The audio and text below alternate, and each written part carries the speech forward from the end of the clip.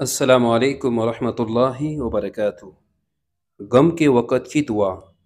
رسول اللہ صلی اللہ علیہ وسلم نے ارشاد فرمایا، یونس علیہ السلام کی دعا جو انہوں نے مچھلی کے پیٹ میں رہنے کے دوران کی تھی، وہ یہ تھی، لا الہ الا انت سبحانک انی کنت من الظالمین۔